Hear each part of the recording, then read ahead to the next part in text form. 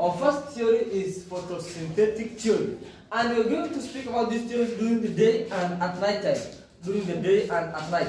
Now, we, uh, we start with the photosynthetic theory. We say during the day, the chloroplast in the guard cell will carry out photosynthesis. And now once they carry out the photosynthesis, they will produce sugar. And this sugar is osmotically active. And this sugar is osmotically active it brings about the osmotic effect where the osmotic pressure in the guard cells. And once the osmotic pressure in the guard cells is increased, the stomata, now the stomach, the guard cells will absorb water from the neighboring adjacent epidermal cells. And the stomata will, and the guard cells will abelt outward and the stomata will open.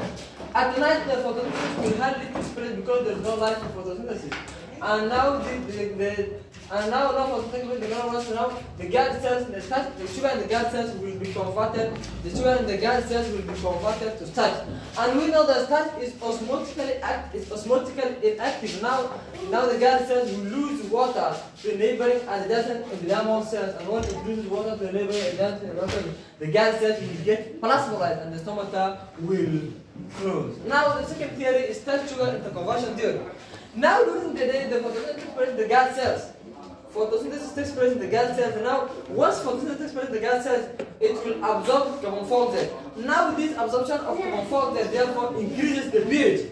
And once the, the pH is increased, the starch now will be converted to glucose. Now the starch now is converted to glucose and we know glucose is osmotically active. Now what is osmotically active, it brings about the osmotic effect where it increases the osmotic pressure in the guard cells.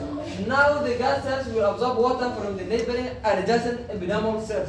And once it absorbs water from the neighboring adjacent epidermal cells, now the guard cells will burn outward and the stomata will close. During the night, during the night, photosynthesis will not take place, therefore carbon 4 oxide will not be used. Now the carbon 4 oxide will accumulate in the guard cells. Now the accumulation of carbon 4 oxide in the guard cells will lower the pH of them, will lower the pH, will lower the pH in the guard cells. And once the pH is lowered, now the guard the osmotic pressure in the guard cells will decrease. And once the osmotic pressure decreases as compared to the neighboring and the epidermal cells, now the guard cells will lose water to the neighboring adjacent epidermal cells. And once it loses water, it becomes plasmolyzed and the stomata will close. Now the last theory is called the potassium ion theory. This theory basically writes the guard cells, the chloroplast, the light ATP molecule. We say during the day, photosynthesis takes place in the guard cells of the chloroplast in the presence of light, producing ATP molecule. Now the keyword here is adenosine triphosphate molecule. Now these ATP molecules will now will now accumulate the guard cells and they now start driving the potassium ions will be transported from the neighboring epidermal cells into the guard cells. Now the accumulation of potassium ions in the guard cells. Now the accumulation of potassium ions in the guard cells and also hydrogen ions will be expelled out from the guard cells. Now the accumulation of potassium in the ions in the guard cells will increase the osmotic pressure in the guard cells. And once the osmotic pressure in the guard cells increases, now what happens? Once the osmotic pressure in the guard cells increases, now water will be absorbed from the neighboring adjacent epidermal cells and the stomata and the guard cells will burn out and the stomata will open. What happens at night?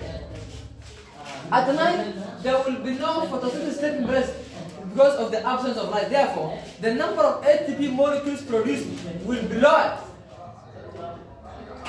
Once the number of ATP molecules produced will be lowered, this therefore means this therefore means that the potassium ions will be expelled. Now the potassium ions will be expelled from the guard cells into the neighboring adjacent epidermal cells. Once the potassium ions will be expelled into the neighboring adjacent epidermal cells, which means the hydrogen ions will now be moved in to the guard cells. Now, now the presence of hydrogen, accumulation of hydrogen ions in the guard cells will lower the osmotic pressure in the guard cells. And once the osmotic pressure in the guard cells is lowered, this therefore means the guard cells will lose water to the neighboring adjacent epidermal cells. The, now the guard cells will get plasmolyzed and the stomata will close. Thank you very much.